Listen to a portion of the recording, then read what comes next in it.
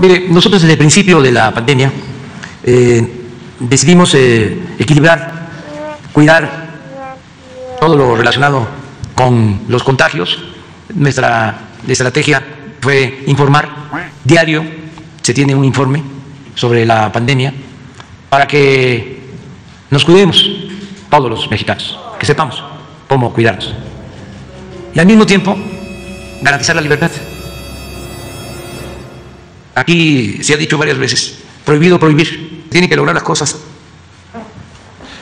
de manera voluntaria, sin imponer nada, sin autoritarismos. Respetamos las políticas que se llevaron a cabo en otros países. Cada pueblo, cada país, cada gobierno tiene sus circunstancias. Nosotros definimos este, enfrentar la pandemia como lo hemos venido haciendo y consideramos que han sido buenos los resultados. Y consideramos que han sido buenos los resultados. Desde luego, da mucha tristeza y dolor que se pierdan vidas humanas.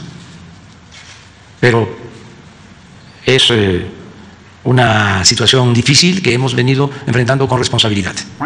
Y acerca de las comparaciones, pues si se tratara de eso, yo podría contestarle nada más que es hasta de mal gusto, ofrezco disculpa, de que este, a la nación más poderosa del mundo que tenemos de vecinos está, les ha ido peor que a nosotros.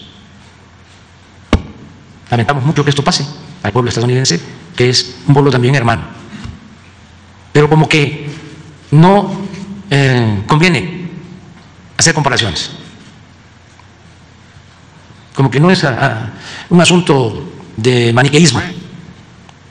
Y a veces la prensa este, no actúa con competitividad. Y en estos casos, como lo decía Alberto, yo pensaba que nada más era en México, este, la prensa conservadora, los que apoyaban a los gobiernos neoliberales, que saquearon, yo creo que en el caso de México no hay duda. En el caso de Argentina no puedo este, decir más de lo que me consta